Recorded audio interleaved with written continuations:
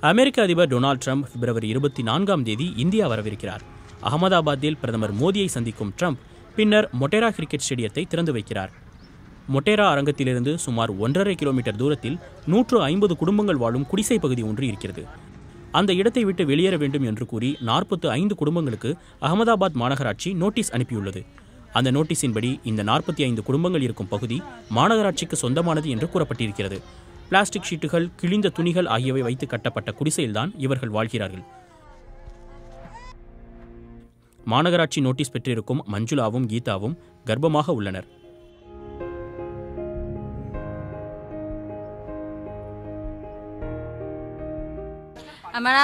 ஏழு நாட்களில் இந்த இடத்தை காலி செய்ய வேண்டும் என்று நோட்டீஸில் கூறப்பட்டுள்ளது.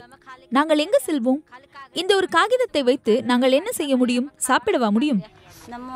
நாங்கள் இங்குதான் பதினைந்து இருபது ஆண்டுகளாக வாழ்ந்து வருகிறோம். இதுவரை யாரும் இப்படி எங்களுக்கு நோட்டீஸ் கொடுத்ததில்லை. நாங்கள் இதை வைத்து என்ன செய்வது? எங்களுக்கு மாற்று நிலம் கொடுங்கள். வேறு ஏற்பாடுகள் செய்து கொடுங்கள். நாங்கள் இங்கிருந்து செல்கிறோம். அப்படி இல்லை என்றால் இயந்திரங்கள் கொண்டு வந்து என்ன வேண்டுமானாலும் செய்யுங்கள். எங்களை கொல்லுங்கள். ஆனால் நாங்கள் இங்கிருந்து செல்ல மாட்டோம். இந்த குடிசை பகுதியில் பல ஆண்டுகளாக வாழ்ந்து வரும் சனாபாய் அதிபர் ட்ரம்ப் வருகையால் தான் இவ்வாறு நோட்டீஸ் வழங்கப்பட்டுள்ளதாக நினைக்கிறார்.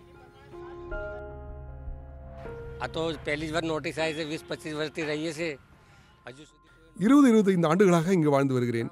இதுவரை எந்த நோட்டீஸும் வந்ததில்லை. ட்ரம்ப் வருகிறார் நரேந்திர மோடி வருகிறார் அதனால் தான் இப்படியெல்லாம். அரங்கத்திலிருந்து ரெண்டு கிலோமீட்டர் தூரத்தில் தான் இருக்கிறோம். ஏழு நாட்களில் நாங்கள் எங்கு செல்வோம்?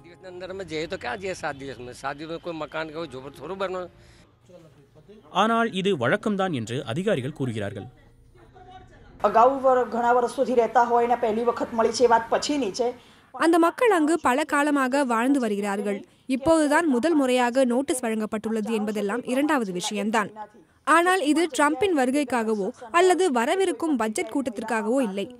இது ஆக்கிரமிப்பிற்கு எதிராக நாங்கள் எடுக்கும் நடவடிக்கையின் ஒரு பகுதி. சட்டவிரோத கட்டிடங்கள் மற்றும் அடித்தளத்தில் நடத்தப்படும் கடைகளுக்கு நாங்கள் நோட்டீஸ் அனுப்பி வருகிறோம்.